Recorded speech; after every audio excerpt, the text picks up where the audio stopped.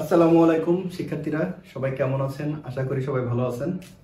দেখেন, একটা খুব খুব খুব ইম্পর্টেন্ট টপিক নিয়ে আপনাদের সামনে হাজির হলাম। সেটা হচ্ছে নিউটনিয়ান বলবিদ্যা চ্যাপ্টারের যে উলম্ব বৃত্তাকার পথে যখন কোনো একটা বস্তুকে ঘোরানো হয়, তখন রশির বিভিন্ন স্থানে টান কেমন হয়?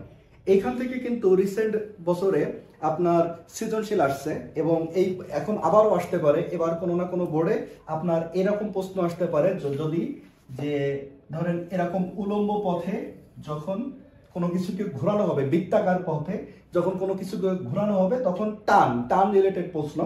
এখন দেখেন, এই যে শীর্ষবিন্দু, তারপরে একদম নিচের বিন্দু, এই জায়গাগুলোতে টান কেমন হবে? এইটার উপরে বেস করে আমাদের প্রশ্ন। দেখেন একটা প্রশ্ন লেখা আছে যে পাঁচ কেজি ভরের বস্তুকে উলম্ব বৃত্তাকার পথে ঘোরানো হলো। বৃত্তাকার পথের শীর্ষবিন্দু ও সর্বনিম্ন বিন্দুর মধ্যবর্তী সুতার টানের পার্থক্য কত? এটা হচ্ছে আপনার প্রশ্নের ভাষা।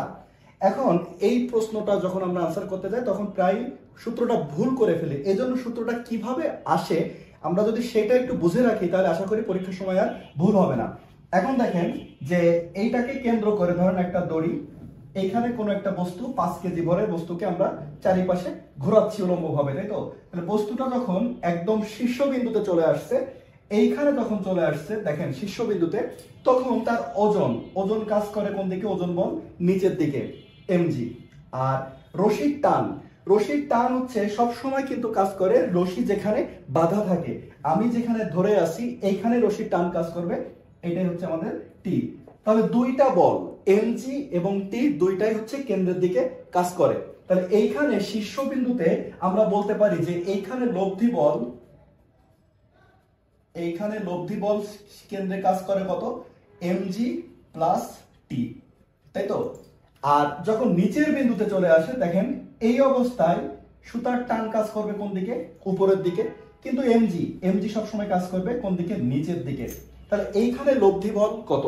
তাহলে লব্ধি বল বের করতে গেলে দুইটা, আমরা ভেক্টর চ্যাপ্টার থেকে জানি, দুইটা বল যদি দুই দিকে কাজ করে, তাহলে লব্ধি বল কীভাবে বের করতে হয়? বিয়োগ করতে হবে বড়টার থেকে ছোটটা। এখন বলেন তো, এখানে বড় কে? ক্যাপিটাল টি বড় নাকি এম জি বড়? যেহেতু মান নাই, আমরা কীভাবে বুঝতে পারি?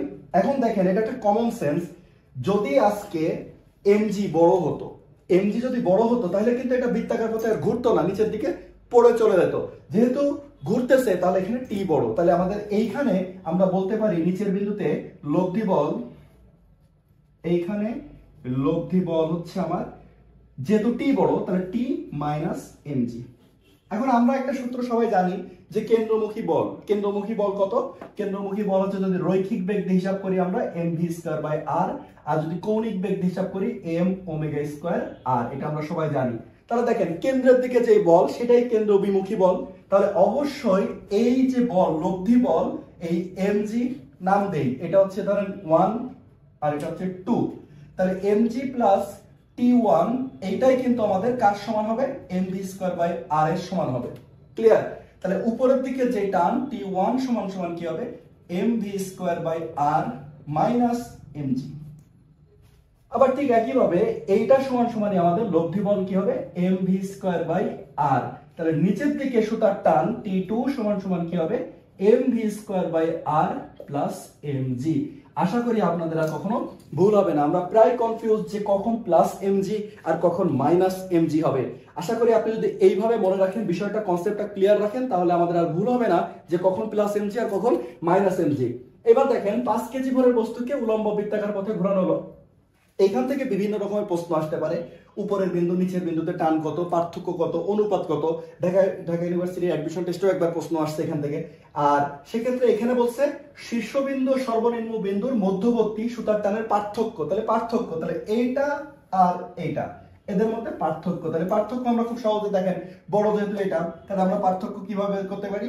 M V square by R plus M G minus M V square by R plus M G তার মানে আমাদের পার্থক্যের মান হচ্ছে টু এম জি তাহলে two into five into nine point eight তার মানে আমাদের নাইনটি এইট নিউটন।